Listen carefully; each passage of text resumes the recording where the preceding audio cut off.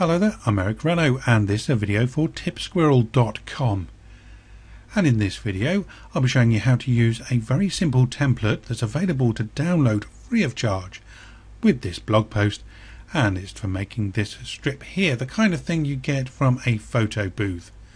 Let's scooch over to the other document and take a look. Okay here it is and it's a very simple document indeed. All I have is two layers and one group and that's all there is to it. There's a little bit of shenanigans going on but let me take you through that. On the background layer I've got an effect. It's just a stroke. It's one pixel all the way around to separate it from anywhere that we put it. Next up is a marker. So all this is is the four squares that you can see there but it's a good marker inside the group for when you want to add your other photographs and then that layer is in a group which also has a layer effect this time an inner glow. If we go back to my finished article you can see that there's this little square around it and that's the inner glow. That's all that's doing. Okay let's go back. So I'll close that down and then you can see that there's a mask on there too and all will become apparent on that mask in just a minute. So let's go and get our photographs. I'm going to go into Mini Bridge and you can see four photographs already and they've already been pre-cropped to a square and that's very important. Now the photographs I'm using are photographs that were very kindly taken for me by a young up-and-coming photographer by the name of Saskia Cole. Saskia is a great photographer and certainly one to watch. I strongly suggest you go and check out her website. Okay, I'm going to make sure that my select this layer then add photos is selected and then click on the first image and shift click on the last image and we're all ready to go and if I click on any of the images and start wiggling around you can see I've picked up a whole bundle of them. I'm going to drag them over to the image and drop them down. Now all four of them don't all come in together they come in one by one which is pretty handy. So I'm going to move this one up. I'm going to hold shift down just so it keeps in a straight line. As I do so you can see where that mask on the group comes in handy. Okay, let's pop that one in somewhere along there and I'm going to use shift and alt and just to constrain it and to transform from the middle and there we go let's click the tick and the second one pops up and again I can use shift to get it reasonably in the right position and then shift and I'm not going to use alt this time, just use shift and then use my arrow keys just to wiggle it around, get it in the right position. And instead of going and pressing the tick, I'm going to press enter this time. And sure enough, along comes my next one. And I'll very quickly do this one now. That's better. There we go. A little bit bigger.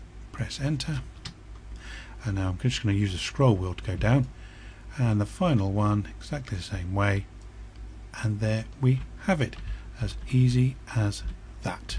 Okay press enter and they're all done. I'm going to close down mini bridge. It's bad enough looking at four of me let alone eight. And if I twirl closed this group you can see it's all nice and neat and tidy. Now the other good thing is that they're linked together. So the background and this group are linked and you can tell that because of these links here. So if I move the group or if I move the background then the other one will go with it. Let me get my move tool and sure enough there you go everything's moving with it. I'm going to take it over onto my other document. I've just got to scooch them up and then as if by magic, the magic of editing actually, the strips disappeared and I can just drop them on just like so. And there we have it they're all ready to go. I'm just going to uh, turn off the notes just so we can see what we're doing. And there's our strip. I'm going to control T and because they're both still highlighted I'm altering both and I can make that about the size I want. Click the tick and there we have it. Okay, one last little trick. If I go and highlight the background layer and then double click on the layer here, I can access the layer styles and I can add a drop shadow to that. I'm going to go, not use the global light, but I'm going to go about 90 degrees, or exactly 90 degrees, that wasn't a bad shot was it? And then bring this right out like that. Maybe a little bit of spread. And I'm going to click OK now that's all very well but it looks like it's stuck out from the corkboard and that's not what I want. I'd quite like it to be flat at some point. So what I'm going to do is I'm going to right click where it says effects on this layer and then I'm going to create layers. What that'll do is it will bring out the drop shadow here. There we go that's on its own layer and also the inner stroke is on its own layer. But this this this one here the drop shadow that I want I'm going to add a layer mask to that.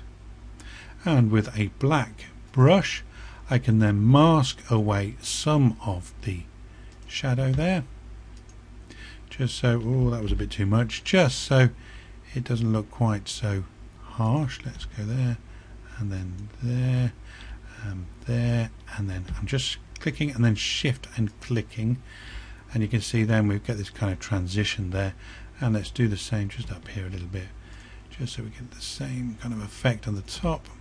It's pretty subtle. Okay there we go. And let's make sure that we highlight all of those um, before we try and move them.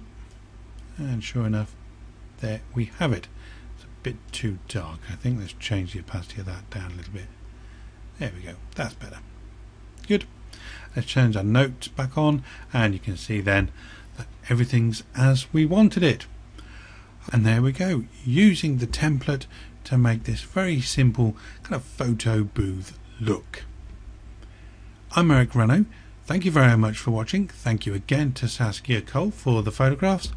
I'll see you next time.